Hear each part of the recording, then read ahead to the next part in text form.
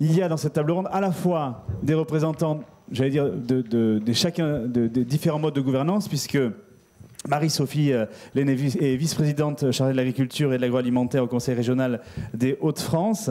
Donc vous, vous allez représenter la gouvernance régionale, j'allais dire, avec ses nouvelles compétences, notamment euh, issues euh, de la loi NOTRe, pour là aussi représenter l'échelle départementale. Nous avons donc Philippe Martin, qui est évidemment ancien ministre en charge de l'écologie, mais surtout là aussi président du Conseil départemental du Gers. Et on verra là aussi avec vous quels sont les leviers que votre premier département bio de France, puisque c'est ce qu'on voyait sur la carte euh, tout à l'heure, euh, utilise et compte euh, développer là aussi pour le développement de la bio. Et à l'échelle municipale, on a Nadège Noisette qui est adjointe à la mairie de Rennes. Merci d'avoir fait le, déplacement jusqu'à nous. Et puis ensuite, on a des représentants un peu plus techniques, j'allais dire, sur le, sur le territoire, mais là aussi qui aident au développement de la bio.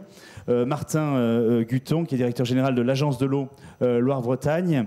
Euh, Vincent Fabrichon, qui est euh, directeur régional à la DRAF Bourgogne-Franche-Comté, et Philippe Fleury, hein, qui est là aussi euh, qui est de laboratoire d'études rurales de l'ISARA de Lyon. Donc, c'est des outils techniques de développement de la bio. On a vu tout à l'heure dans les filières qu'il y en avait besoin, là aussi, d'outils techniques et les, que les, filières étaient en attente, là aussi, de ce genre d'outils.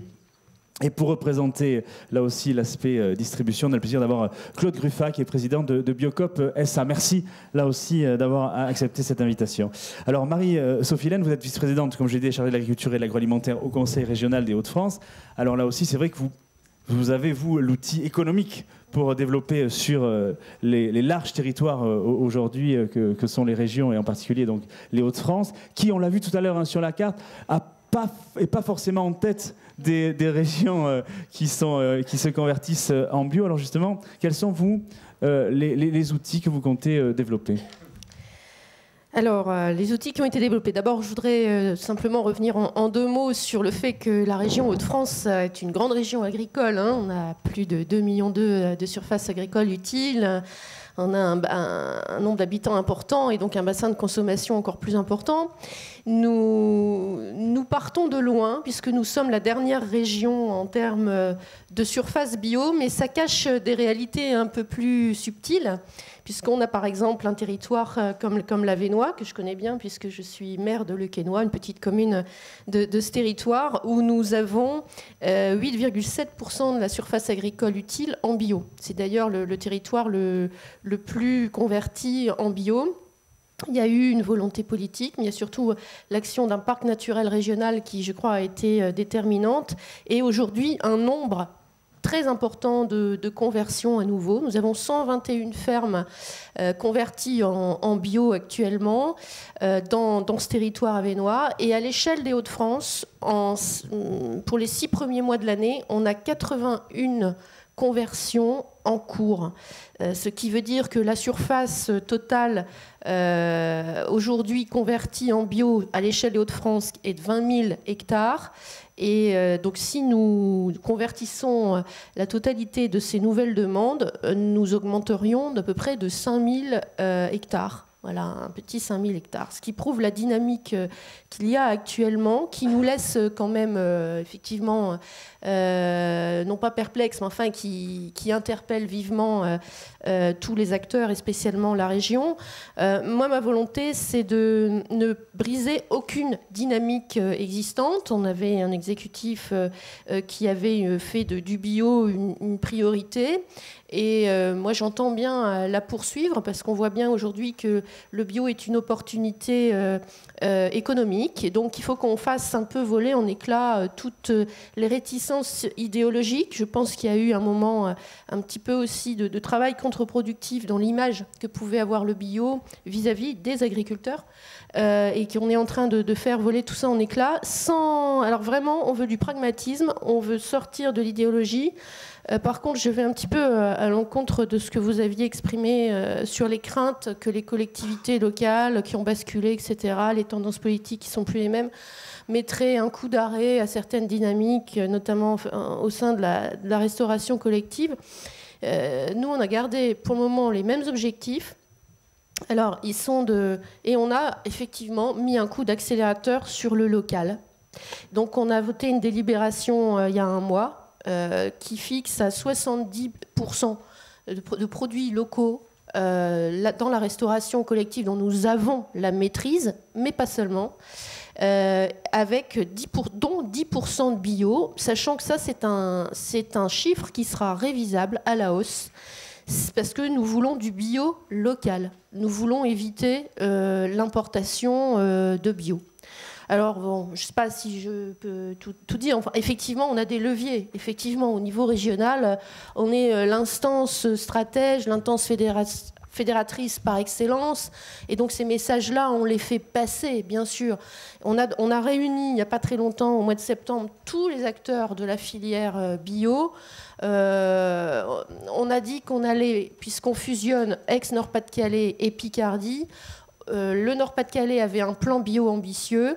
On va partir de ce plus grand dénominateur commun, l'étendre à toute la grande région pas forcément refaire tout le travail de consultation euh, qui a été fait en 2014. Ce plan est récent. Donc on va simplement l'actualiser, l'étendre. Donc vous voyez, l'ambition, elle est quand même là. Et puis, on va faire un guichet unique pour l'accompagnement, la conversion et au-delà. Parce que nos acteurs nous disent, maintenant, il ne faut plus faire les erreurs du passé. Le, bio peut rencontrer des écueils sanitaires, effectivement, des, problèmes, ou, mais surtout euh, en termes de rémunération de la filière. On, sait que si voilà, dès qu'on atteindra un niveau important de bio, euh, référencés, on risque d'avoir une baisse des prix. Donc il faut qu'on ait un bio équitable qui reste équitable dans le temps. Et c'est ça pour nous aujourd'hui l'enjeu, c'est de faire monter en puissance le nombre de, de, producteurs en bio, les accompagner le plus vite possible. Je crois qu'il y a aussi un enjeu de timing. Euh, il n'est pas question de perdre du temps. Et maintenant qu'il y a un véritable enjeu économique, on le voit, en plus d'avoir un enjeu euh, euh, d'un enjeu agricole, eh bien, il faut qu'on aille vite, mais il faut qu'on se structure très, très rapidement également pour qu'on n'ait pas les problèmes de décrochage, de surproduction et de décrochage des prix à l'avenir. Donc c'est un petit peu au cœur de tout ça qu'on se positionne, mais c'est une priorité de la région Hauts-de-France. Et euh, voilà, donc il n'y a pas vraiment. Euh, enfin, vous voyez, de, je ne vois pas, quand je vous ai entendu tout à l'heure, j'ai trouvé ça un petit peu dommage parce qu'il n'y a pas de, dynamique euh, cassée. Et vous savez, partout où il y a du pragmatisme, on regarde les enjeux, on regarde les chiffres, on regarde la réalité, on regarde l'attente du consommateur, on regarde les enjeux sanitaires et environnementaux et on y va, quoi. C'est un peu notre philosophie. Et les enjeux sociaux, puisqu'effectivement, là aussi, c'est de l'emploi euh, local. Euh, on parlait de plus de, de, 1000 emplois par an euh, aujourd'hui qui, qui étaient créés sur, sur la, production bio. Est-ce que du coup, il y a, pour illustrer cette volonté, est-ce qu'il y a des outils, j'allais dire, de, de, gouvernance que vous avez pour l'instant développés ou qui sont à l'étude?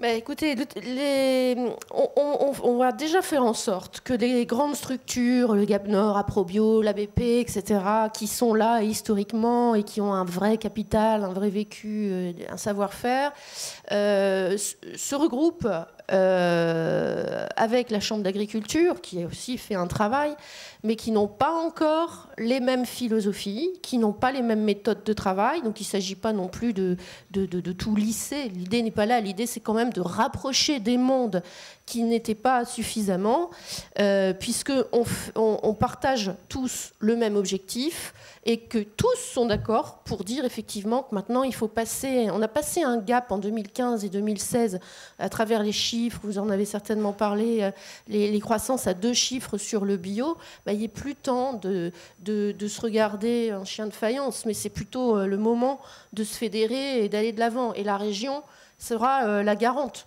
de cette euh, exigence de, fédération. Donc un guichet unique pour, euh, voilà, pour entrer, pour être accompagné, pour se convertir et ensuite pour faire partie d'une filière qui essaye d'avoir une vision prospective, qui essaie de déceler euh, les marchés, qui essaie de déceler les risques, voilà, et, donc raisonner à l'échelle de toute une filière amont plus aval. C'est ça un peu notre objectif.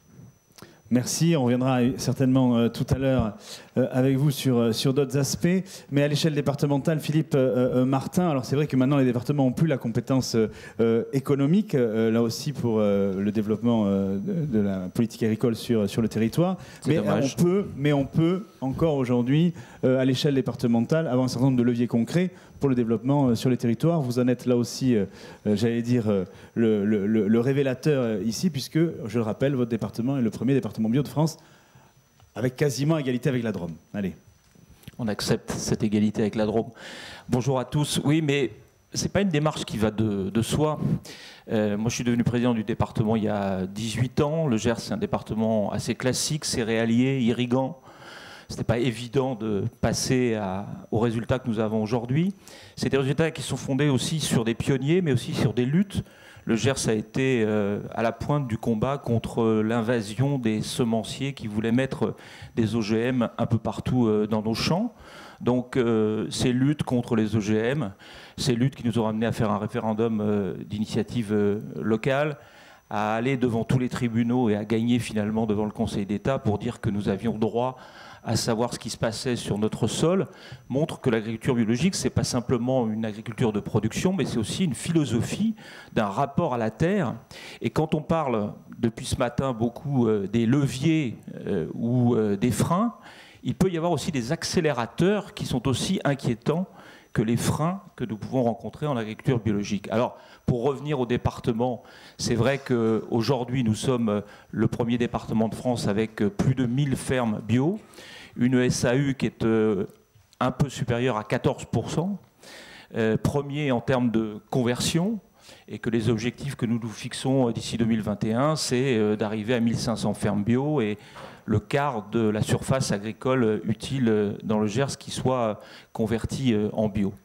Les leviers qu'une collectivité comme le département peut avoir, c'est bien sûr euh, la restauration collective. On en parlait notamment dans les, collèges. Moi, le jour où je me suis aperçu, lorsque l'État nous a transféré la gestion des cantines, que parfois dans des collèges gersois, une viande avait été abattue aux Pays-Bas après avoir été élevée en Grande-Bretagne et qu'elle finissait sur l'assiette d'un petit gersois, j'ai pensé qu'il était possible sûrement de raccourcir un peu euh, les circuits euh, d'approvisionnement. Et donc nous nous sommes lancés d'abord dans euh, une restauration à la fois de proximité et de saison, puis nous sommes passés progressivement, grâce aux pionniers du bio, le GAP 32, puis les bio du Gers aujourd'hui, eh bien, dans une restauration qui fait que le tiers des collèges dans le Gers est aujourd'hui à 100% bio, tous les autres collèges sont à 30 à 50% de bio et passeront d'ici à 2021 à 100% euh, bio. Donc ça, c'est un, levier auquel, bien évidemment, euh, euh, nous avons droit. Vous avez dit tout à l'heure que les, départements n'avaient plus la compétence économique, c'est vrai. en agriculture, c'est un peu plus flou. J'espère que ça nous permettra de continuer d'aider, comme nous l'avons fait, à de l'installation d'agriculteurs en, agriculture bio, nous avons même euh, euh, proposé un dispositif qui fait que la conversion bio est considérée chez nous comme une installation nouvelle et donc nous permet euh, de les aider. Nous avons permis aussi de, faire en sorte qu'il y ait plus de lisibilité pour l'agriculture bio. Mais je disais tout à l'heure, frein euh, levier, mais aussi euh, accélérateur inquiétant. Moi, ce qui se passe actuellement à la Commission européenne, avec euh, la refonte du cahier des charges européen, m'inquiète, parce que je vois bien que nous sommes partis avec une poignée, je n'ai rien contre les ouvriers de la 25e heure en bio, mais nous sommes partis avec des pionniers qui étaient seuls, sans les chambres consulaires, qui peu à peu ont inscrit l'agriculture bio dans le paysage euh, français. Et aujourd'hui, on voit des grands groupes, des grandes coopératives qui ont compris que c'était un intérêt économique et qui veulent transformer les réglementations, abaisser notre degré d'exigence en matière euh, d'agriculture bio, faire de la mixité quand on sait, nous, les combats que nous avons menés pour dire qu'il n'était pas possible d'avoir une cohabitation entre des OGM en plein champ et de l'agriculture bio tant qu'il n'y aurait pas aussi des systèmes d'indemnisation justes pour les agriculteurs, et eh bien là, nous revenons dans la même chose. Et la mixité me paraît quelque chose de dangereux tant qu'il n'y aura pas un système d'indemnisation pour des pollutions fortuites, parce qu'elles sont toujours fortuites pour les agriculteurs bio, elles déclassent leur production. Donc Moi, j'ai cette préoccupation-là. Je pense que euh, la France doit se montrer extrêmement réservée. Nous avons des grands certificateurs, Ecocer qui est dans le département du Gers, mais d'autres euh, qui labellisent. Nous sommes dans une région Occitanie très grande qui va du Gard jusqu'au Gers, mais qui est là aussi une des premières pour l'agriculture biologique. Mais la vraie question aujourd'hui, c'est comment on progresse avec cette demande de masse, cette progression de la demande, sans se renier, sans dévoyer l'agriculture biologique, parce que si c'est pour faire de l'agriculture biologique demain quelque chose qui fera que la confiance avec le consommateur sera rompue, parce qu'il aura le sentiment qu'on on fait ça comme les autres productions, alors à ce moment-là, il y aura une déflagration qui sera extrêmement forte. J'invite bien évidemment aussi à ce que tous les établissements euh, médico-sociaux puissent prendre euh, la suite des collèges par les départements, des lycées par euh, les régions, parce qu'il y a dans les maisons de retraite, dans les hôpitaux, des gens qui sont là tous les jours, le matin, le midi, le soir, et qui représentent là un levier considérable, alors que la nutrition externalisée souvent est très mauvaise. Donc, euh, bien sûr, je souhaite continuer à caracoler en tête, mais je souhaite plutôt diffuser un peu partout et faire en sorte que partout en France, nous ayons effectivement une agriculture biologique qui soit florissante, mais respectueuse des fondamentaux qui ont fait que c'est une philosophie et pas simplement une production. Merci Philippe euh, Martin. Alors justement, on va illustrer euh, ce, que, vous disiez quelque part avec l'échelle municipale, avec vous, euh, Nadège Noisette, puisque vous êtes adjointe à la ville de Rennes, mais adjointe aux achats alimentaires durables. Et c'est ça qui est intéressant, parce qu'effectivement, vous avez là aussi impulsé euh, un plan alimentaire durable, mais vous allez nous le, raconter.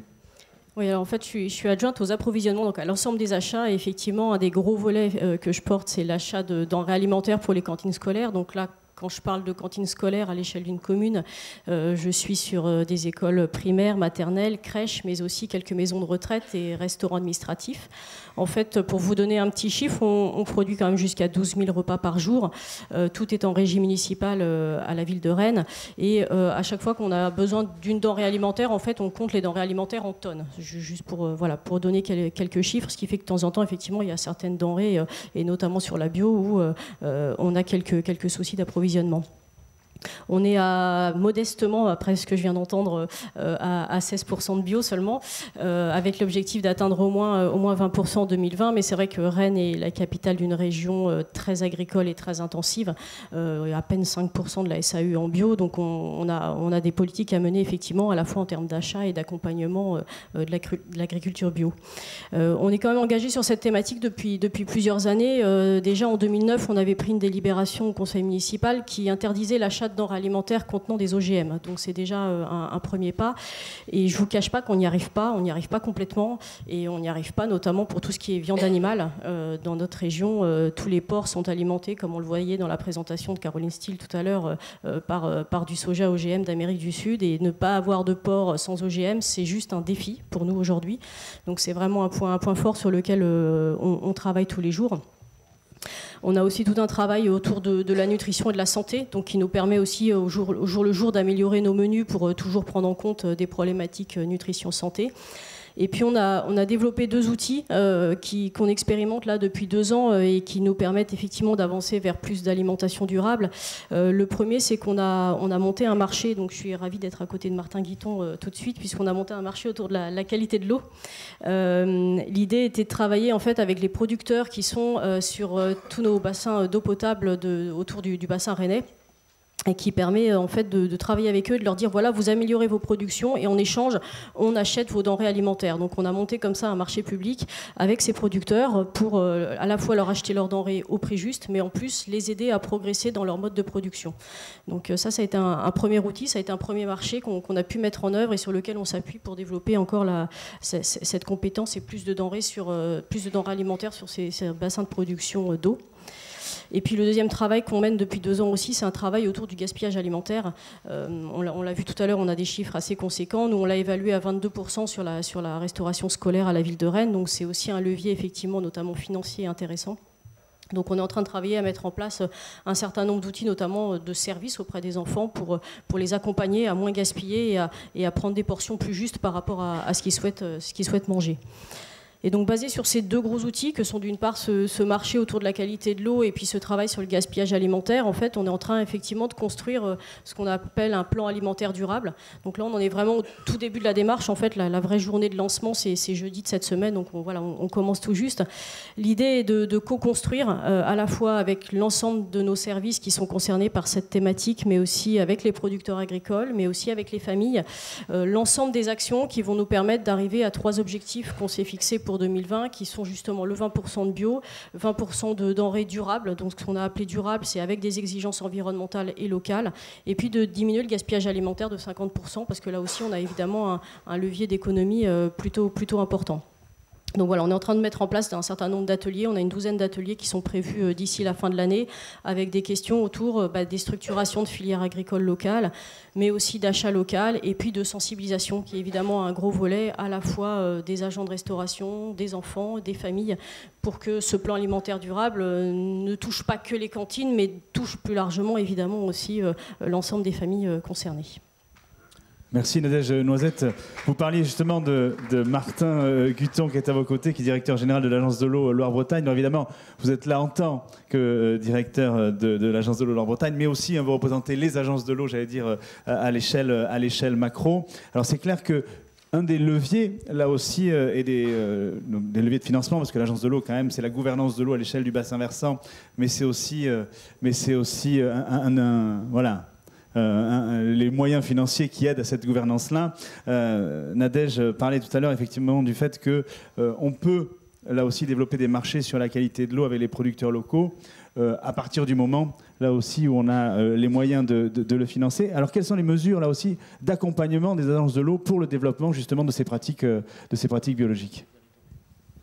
Alors merci, beaucoup. Puis je remercie Madame Noisette d'avoir euh, indiqué qu'elle était contente d'être à côté de moi. C'est un plaisir euh, partagé. On est tous très bien à cette table ronde. Et, effectivement, je suis aussi à côté d'un ancien ministre de l'écologie et, donc qui forcément euh, connaît bien les agences de l'eau pour avoir euh, assuré euh, leur, tutelle.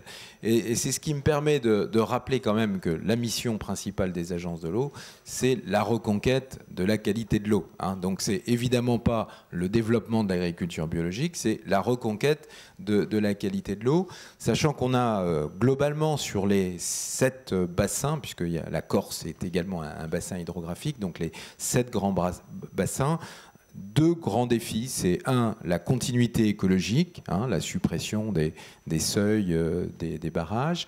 Monsieur Martin connaît ça bien.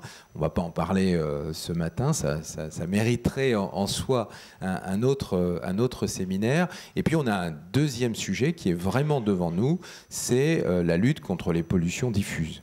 Donc les pollutions diffuses dans, leur ensemble, hein, parce qu'on pourrait parler aussi de, micropolluants, mais euh, les produits phytosanitaires sont euh, vraiment au cœur euh, des grands sujets que nous avons devant nous en matière de, qualité d'eau. On a beaucoup progressé sur un certain nombre de substances.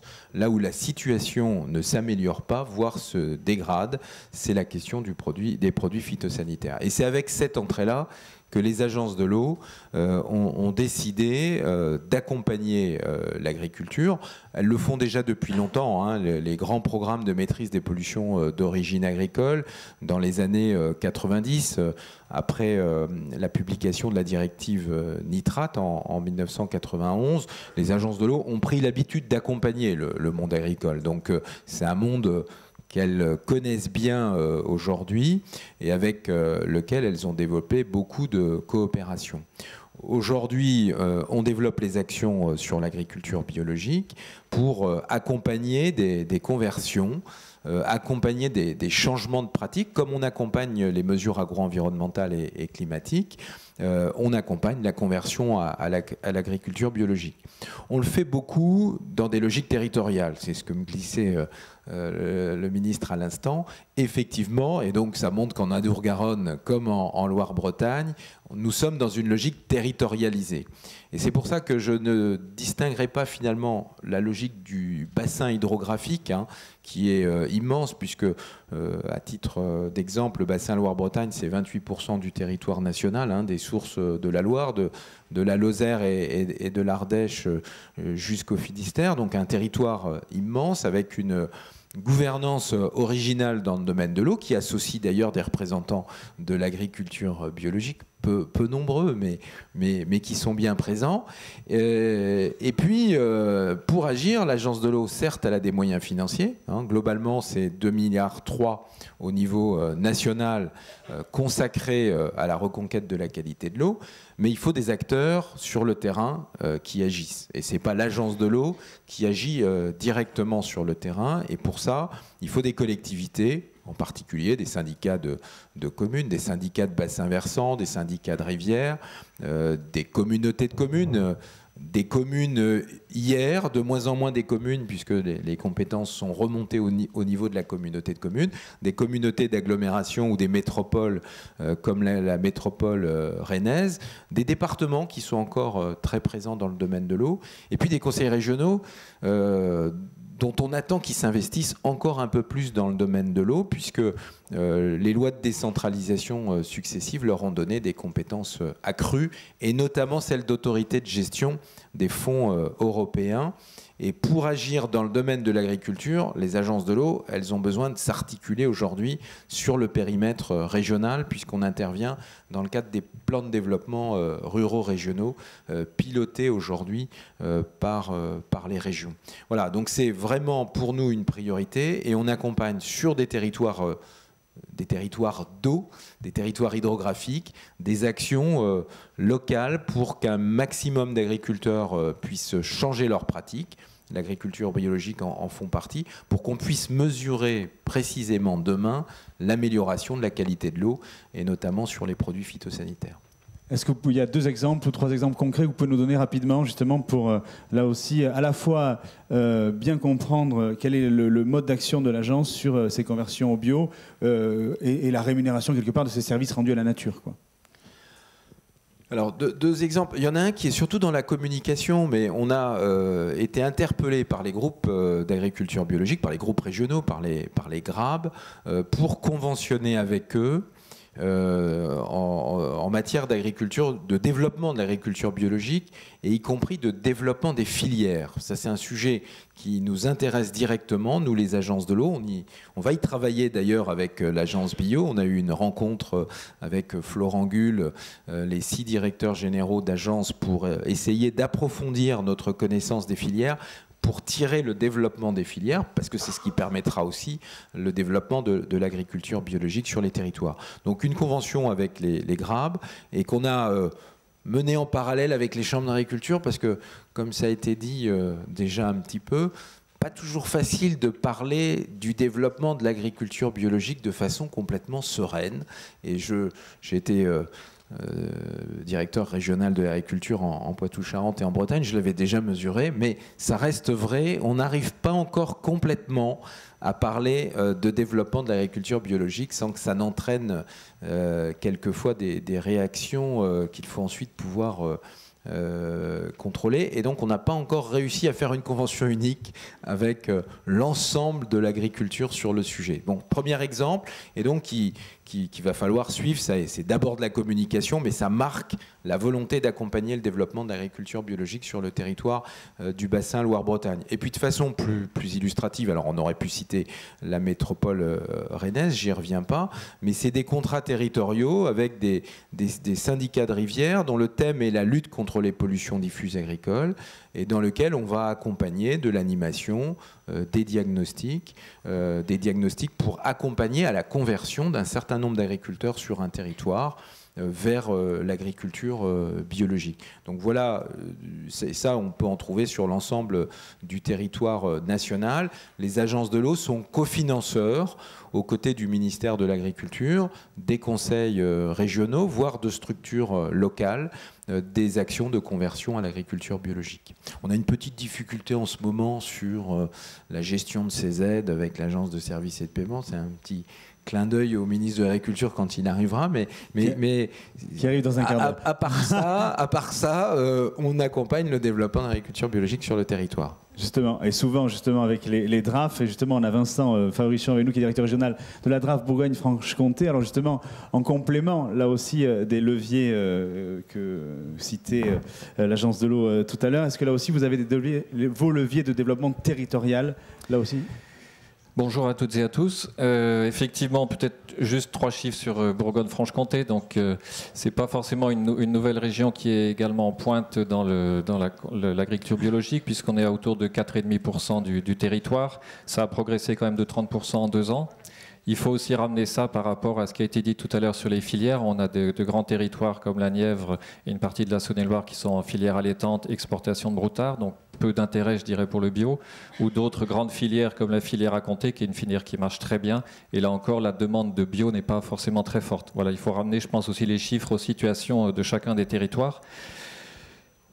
Cinq éléments que je voulais euh, apporter devant vous, pour certains d'entre eux qui rejoindront un peu ce qui a été dit euh, à l'instant. Premier enjeu, premier élément pour euh, l'administration du ministère de l'Agriculture, donc c'est évidemment décliner le plan Ambition Bio dans les régions. Alors, la première chose, c'est co-construire avec les acteurs et en copilotage avec le, Conseil régional un plan euh, régional ambition bio. Concrètement, c'est présider un, co-présider un comité euh, régional qui essaye de définir des grands axes d'action. Deuxièmement, c'est essayer de mobiliser les acteurs. Et là, j'avais prévu de dire, je suis désolé pour vous si c'est la troisième fois qu'on en parlera aujourd'hui, de dire effectivement que l'enjeu de mise en synergie, de complémentarité des acteurs sur le territoire pour l'animation autour du bio, c'est vraiment un élément important. Je pense que la diversité est une bonne chose. Il, est, il nous revient à nous, peut-être autorités administratives, que ce soit collectivité locale ou, ou, État, de faire en sorte que ces différents acteurs travaillent bien tous dans le même sens et soient complémentaires sur le territoire. Deuxième enjeu, évidemment, dans le cadre de la fusion, ça a été dit tout à l'heure, c'est de créer un, nouveau plan à l'échelle des grandes régions. Là aussi, on va partir sur l'existant des deux anciennes régions et ne pas réinventer l'eau chaude, si je peux me permettre. Deuxième élément important, c'est soutenir les actions sur les territoires parce que le plan qui définit une stratégie, qui donne une vision politique, le plan est multifilière, il est multi-acteur. Ensuite, la réalisation, ce sont bien les partenaires sur le territoire. Deux leviers d'action pour l'administration. Le premier, c'est évidemment apporter des soutiens financiers modestes, mais en complémentarité avec éventuellement d'autres financeurs, et puis surtout faire connaître les bonnes pratiques. On peut avoir des démarches qui sont très variables. Je peux citer euh, quatre exemples. Premier exemple, c'est des coopératives qui développent des filières, la COSEBI, une coopérative dans Lyon, ou Dijon Céréales en Côte d'Or. Ça peut être des démarches euh, autour de l'eau, je cite par exemple Haute-Paris qui développe sur la vallée de la Vanne dans Lyon une démarche également sur le développement de l'agriculture biologique, ou ça peut être des démarches de collectivités. Je prends l'exemple de l'agglomération de Lons-le-Saunier qui est bien connue, qui a voulu développer à la fois une protection de la qualité de l'eau, mais aussi un approvisionnement de ses cantines en euh, restauration biologique. Voilà, donc accompagner ces acteurs qui font ont des démarches exemplaires, mais aussi et peut-être surtout faire connaître ces démarches à l'ensemble des partenaires et on réunit régulièrement, on fait de la communication sur les bonnes pratiques. Troisièmement, euh, Martin en a parlé, la mise en œuvre des aides à la conversion et au maintien de l'agriculture biologique, c'est évidemment un sujet important. L'administration fait ce qu'on appelle l'ingénierie financière. C'est pas toujours facile. Euh, ça a été particulièrement difficile en 2015 et 2016, en particulier pour les agriculteurs eux-mêmes. Je dirais dans un contexte qui est plutôt favorable, c'est-à-dire qu'on a à la fois un développement de la demande par rapport au nombre de dossiers en conversion ou en maintien. On a aussi une augmentation des financements. Euh, monsieur le ministre y reviendra peut-être tout à l'heure, que ce soit des agences ou, de, de, la puissance publique, euh, collectivité ou État. On avait un vrai sujet de voilà, de mobiliser ces crédits dans un contexte un petit peu fluctuant. Et puis bien sûr remercier les agences de l'eau, mais là aussi un petit clin d'œil à Martin Guton, donc, qui représente l'ensemble des agences. On a euh, la chance d'avoir sur Bourgogne-Franche-Comté trois agences de l'eau différentes avec trois systèmes d'accompagnement qui sont différents. Donc peut-être un petit effort, mais il le sait très bien, un petit effort d'harmonisation euh, des décisions euh, au niveau des agences de l'eau. Quatrième élément, c'est euh, important également, c'est comment on peut intégrer le bio dans les autres politiques portées par le ministère de l'Agriculture. Bien sûr, des leviers euh, incitatifs ou des leviers réglementaires, par exemple les bonifications d'aide sur les bâtiments d'élevage quand ils sont en bio, par exemple euh, le schéma des structures hein, qui conditionne l'accès aux fonciers, donner un accès privilégié par exemple à ceux qui se maintiennent en agriculture biologique. Deuxième élément important, c'est l'enseignement agricole, évidemment. On a dans la région euh, Bourgogne-Franche-Comté 13 euh, euh, exploitations agricoles ou ateliers technologiques sur 20 qui, ont une partie ou la totalité en agriculture biologique. Et puis bien sûr la formation des jeunes avec des diplômes qui ont été adaptés. Et puis je terminerai rapidement sur un cinquième élément, c'est d'arriver à faire aussi de la synergie entre l'agriculture biologique et les autres agricultures, et en particulier l'agriculture conventionnelle. Et on a à travers les GI2E, vous connaissez, à travers les réseaux défis autour des phytosanitaires, non seulement des réseaux purement conventionnels, des réseaux purement en agriculture biologique, mais aussi quelques réseaux qui sont mixtes, agriculture biologique et agriculture conventionnelle, qui permettent de diffuser un petit peu des pratiques euh, intéressantes. Merci euh, Vincent euh, Fabrichon, là aussi, pour, euh, j'allais dire, tous les leviers euh, du, ministère, en tout cas, et des directions régionales de l'agriculture que vous, représentez. Alors, on l'a vu tout à l'heure hein, dans la table ronde sur les, filières, l'importance aussi de la recherche et des outils, notamment euh, du développement d'outils de, biocontrôle, euh, est, important pour, le développement territorial de ces filières. de ces filières. Alors, avec Philippe Fleury, qui est là aussi de, de l'ISARA de Lyon, du laboratoire d'études rurales de l'ISARA de Lyon, qui en général, qui est co-animateur du projet Habile avec donc Céline Cresson de, l'ITAB, l'Institut euh, technologique de l'agriculture euh, euh, biologique. là aussi, vous avez un certain nombre donc d'instituts et de laboratoires sur, sur le territoire. comment, là aussi, à partir de ces expérimentations territoriales, vous aider à la diffusion de ces bonnes pratiques? Oui, Bonjour, merci. En fait, je remplace ma collègue Céline Cresson qui, est malheureusement malade. L'objectif étant d'équilibrer le, rapport de, de, de, genre de la table ronde et ça, je suis incapable de le, de le faire. Euh, euh, mais elle n'était pas invitée que pour ça, elle était invitée par rapport à ses compétences, euh, bien entendu. voilà, voilà, enchaînons, enchaînons, s'il vous plaît, enchaînons. Notre, métier, notre métier est donc tout ce qui touche autour de l'animation, de la formation et, de, l'élaboration d'outils. Donc, Monsieur Guton a expliqué que pour les agences de l'eau, le problème, c'est pas le nombre d'agriculteurs biologiques, c'est la qualité de l'eau et l'évolution euh, de la qualité de l'eau euh, du fait de la conversion euh, d'un certain nombre d'agriculteurs conventionnels. Donc nous, notre travail, on s'est intéressé à la thématique du développement local de l'agriculture biologique. Et derrière ce mot-là, on pense premièrement des projets locaux de développement de l'agriculture biologique, mais également des projets qui vont contribuer à la résolution de problèmes de développement local, que ce soit des problèmes de qualité de l'eau, d'environnement, des problèmes d'autonomie alimentaire pour les, pour les métropoles, mais aussi pour des, communes de, taille plus modeste, des problèmes d'éducation à l'alimentation, etc.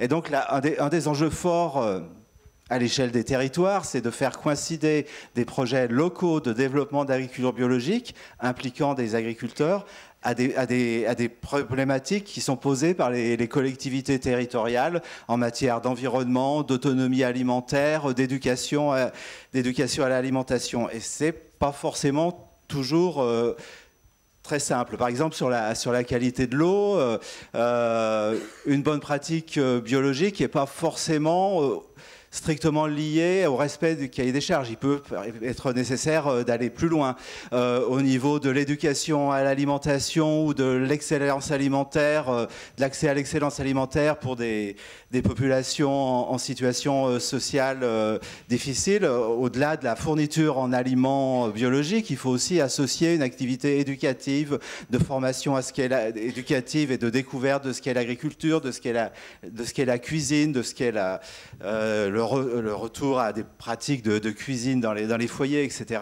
Et puis un, travail aussi sur la gestion du, budget euh, des familles. Donc tout ce, travail-là, euh, aujourd'hui, interpelle directement les, métiers euh, d'animateurs autour du développement de l'agriculture biologique, la nécessité de nouveaux savoir-faire, de nouvelles, compétences.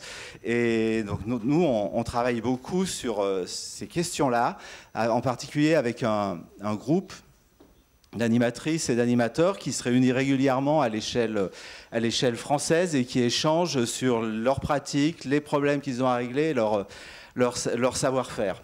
Donc ça, c'est un, un rôle important de l'Institut technique de l'agriculture biologique, c'est un rôle important euh, de, mon école, nous on est dans l'enseignement et, la, recherche. Euh, il y a d'autres réseaux en France qui existent, par exemple un réseau de la Fédération nationale de l'agriculture biologique qui travaille sur la thématique euh, eau et bio, qui, travaille en étroite relation avec les agences de l'eau.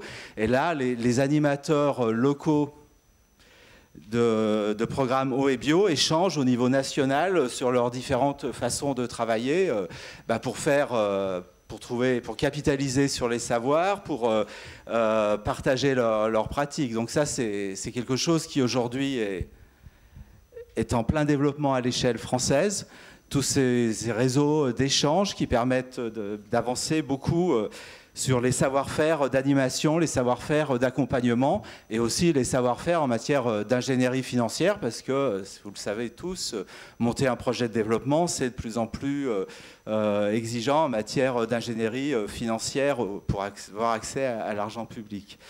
Un, point que je voulais, je voulais évoquer, parce que quand on parle développement local, on pense souvent circuit court, AMAP, fourniture euh, de, par quelques agriculteurs biologiques euh, de la restauration collective. Et aujourd'hui, moi, je pense que les questions de territoire, de local, sont en train de rejoindre les questions de filière. On l'a vu dans la, première, table ronde où des, meuniers euh, s'organisent à l'échelle régionale avec des producteurs et des boulangers.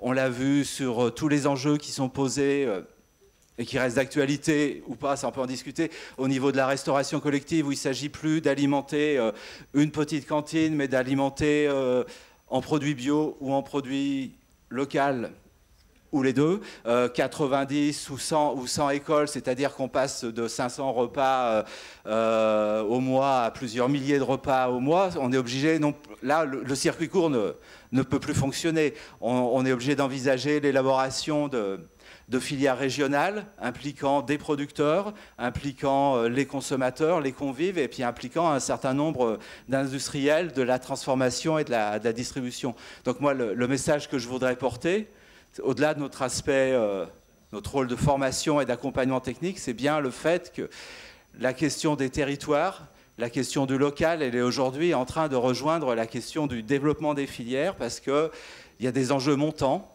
autonomie alimentaire des grandes métropoles, avec euh, une fourniture euh, d'alimentation de proximité. On l'a vu sur le, cas de Rennes.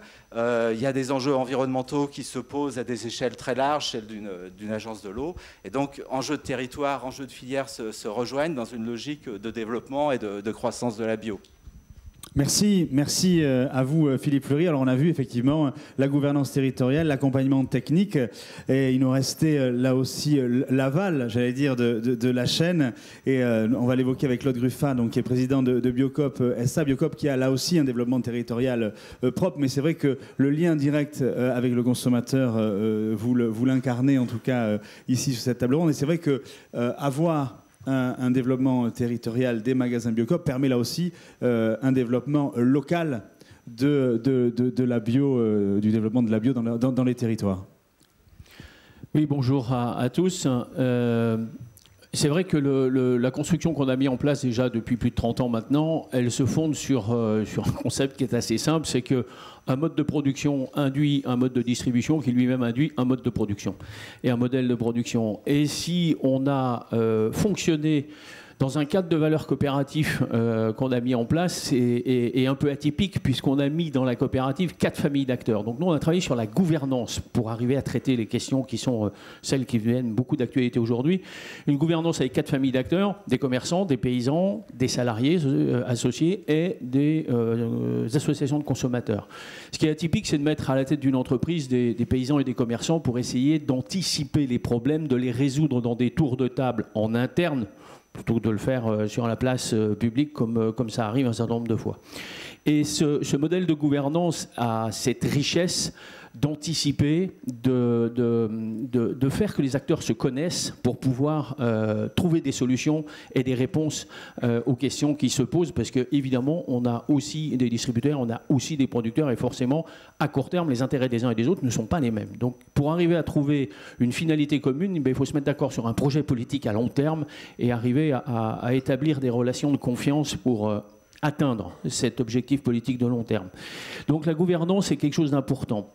Euh, on l'a fait dans un cadre de valeurs qui euh, reprend euh, trois des sept valeurs de la coopération. La première, c'est la coopération, la notion de coopération par opposition à la compétition. Mettre les acteurs en coopération pour réussir ensemble. La deuxième, c'est le cadre d'équité au sens recherche, du juste prix du terme et au sens commerce équitable du terme, avec notamment le commerce équitable français qui a été lancé depuis de deux ans maintenant officiellement. Et puis la troisième valeur qui est la transparence, c'est-à-dire on met sur la table les éléments de manière à pouvoir co-construire ensemble. Euh, et puis dire à l'avance ce qu'on va faire, c'est aussi un élément de transparence qui est là aussi juste l'inverse de la compétition. C'est-à-dire si on dit ce qu'on va faire dans 2 ans, 3 ans, 4 ans, 5 ans, et qu'on est toujours là pour le faire, évidemment, ça, ça met une autre relation entre les acteurs pour, euh, pour, euh, pour avancer. Le, deuxième point de, ce qu'on a déjà mis en œuvre, c'est la Alors la méthode. La méthode, c'est quoi? C'est la planification des besoins. Donc dire à l'avance ce que je viens de dire, dire à l'avance, mais le chiffrer de dire voilà, on va avoir besoin de euh, tant de centaines de tonnes de tel produit, tel produit, tel produit, etc., de manière à ce que les producteurs puissent anticiper, se préparer à répondre à ces besoins quand euh, l'heure arrivera euh, où, on les sollicitera. c'est mieux que d'arriver sur le marché en disant j'ai besoin de 350 tonnes et puis la concurrence à la baisse des prix, qui me fera l'offre la plus intéressante. Donc c'est justement la démarche opposée à ça. Le troisième point, c'est de mettre euh, et d'investir et de mettre des équipes au service de cette construction. Ce qui veut dire que dans le prix final du consommateur, ça compte, parce qu'il y a en amont des coûts euh, qui ne sont pas habituellement dans le prix du produit, euh, et que là, il faut arriver à, intégrer et, et à porter. Et puis, le quatrième point, c'est de structurer et de créer des filières quand elles ne sont pas disponibles sur le marché. Dernière en date, l'Alémance dans le sud-ouest, qui est une filière de lait de chèvre qu'on a créée, mais vraiment de toutes pièces. Euh, c'est-à-dire que le lait de chèvre, bon, on l'achetait en Allemagne et en Hollande parce que disponible en volume nécessaire. Ici, on ne l'avait pas. Et ben, il a fallu aller créer ces filières, mettre des producteurs ensemble. Ça prend du temps parce qu'il faut créer la relation de confiance pour que ça fonctionne. Trouver l'industriel ou la PME qui va venir se mettre là au milieu, faire la transformation pour obtenir les produits dont on a besoin pour nos unités de besoin dans les magasins et satisfaire une attente du consommateur avec des filières françaises. 5 ans de travail pour l'exemple que je viens de citer. Évidemment, c'est long. Donc, c'est long et c'est des coûts, hein, ça c'est clair. Donc voilà ce, qui a, déjà été fait. Après, sur euh, les besoins qu'on a encore aujourd'hui, enfin là, je viens d'élaborer en, grand point un petit peu la méthode de travail, la construction qu'on a euh, mis en place pour euh, arriver à faire ce qu'on fait aujourd'hui. sur les besoins, sur ce qu'on a encore pas couvert aujourd'hui ou qui monte en, en besoin, un, c'est des producteurs de proximité on n'en a pas assez. On a vu tout à l'heure sur la carte que la densité de maillage du territoire en producteurs est très différente en France. Hein. On est dans des situations qui ne sont pas partout pareilles. Donc on a besoin de producteurs de proximité aujourd'hui. On a besoin d'en installer. Donc il faut installer des producteurs pour fournir les magasins en produits de proximité partout où c'est possible. Il y a des endroits où c'est déjà maillé, où on a déjà le volume. On l'a vu sur la carte, mais il y a des endroits où on l'a pas. Puis on en est loin. Hein. Donc là, il y, a, il y a un vrai besoin. Le deuxième, c'est dans notre développement pour continuer à pousser cette idée et ce projet projet politique qui est le projet de Biocop. On, développe en magasin, on crée plus d'une cinquantaine de magasins par an maintenant. Donc le maillage du territoire en magasin de proximité pour s'approcher du consommateur, on va dire que la machine est en marche et on avance. Par contre, le besoin en maillage du territoire, en groupement de producteurs pour répondre à ce besoin. Là, il y a un vrai besoin qui est extrêmement important, où il faut qu'on arrive maintenant, on ne pourra pas avoir trois groupements de producteurs qui fournissent l'ensemble du réseau. Pourquoi? Parce que les consommateurs demandent des produits de proximité. Donc il faut qu'on crée les groupements de producteurs de proximité sur les territoires pour arriver à avoir les modèles de production dont on a besoin là où sont les consommateurs. ça, c'est une pression forte de la demande. Ce n'est pas Biocop qui l'invente, hein, c'est le consommateur qui le demande. Et on voit bien que quand on met des produits de proximité dans les magasins, ils sont plébiscités. C'est ceux qui partent les premiers, et tant mieux. Mais donc il faut construire autour de, cette question-là. Euh, Troisième besoin euh, aujourd'hui, c'est de maintenir, et ça a été décrit euh, par Philippe Martin tout à l'heure, la bio à valeur qui est celle euh, qu'on porte. C'est-à-dire que au-delà d'un règlement européen qui donne un cadre technique de production, de maintenir un, cadre de valeur à la bio. C'est là où je fais la différence entre le bio et la bio. Le bio, c'est un mode de production, très bien, et, on en a besoin. Il doit être cadré réglementairement, et plus ce cadrage sera fort et puissant, plus euh, la, production bureau sera forte dans ses, concepts et dans sa façon de, de, se, développer. Mais au-delà de ça, euh, tout, ce qui concerne le cadre de valeur qu'il y a autour, notamment environnementales et sociales. Il y a, il y a des, il y a la FNAB qui avait, il y a, il y a six ans, mis en place et qui porte toujours ce, ce cahier des charges complémentaire au règlement européen, qui est biocohérence en France, qu'il faut arriver à développer parce qu'il porte cette différence et il portera ce modèle de développement d'une certaine forme d'agriculture biologique, d'une agriculture biologique à valeur. Et donc ça, c'est un, un appel de nos voeux que ça se poursuive et que ça se développe. Et puis je prendrai un, un dernier point qui est euh, oui. celle qui concerne, qui concerne les consommateurs et une égalité face au prix de vente des produits. Je- je- J'entends par là avoir une. Et je fais appel là à la fiscalité, et euh, les chercheurs qui ont travaillé là-dessus appellent ça la TVA circulaire, c'est-à-dire de fiscaliser avec une TVA diminuée les produits bio puisqu'ils sont à faible externalité négative. Vous- et, évidemment, à l'inverse, maximiser la TVA sur les externalités négatives euh, des produits qui en portent, de manière à ramener une égalité de prix aux consommateurs sur les produits bio. Et ça, c'est quelque chose qui est important et qui peut être un vrai levier de développement de la consommation de la bio euh, pour, euh, pour, euh, pour l'avenir. Voilà. Merci beaucoup, Claude Ruffin. Merci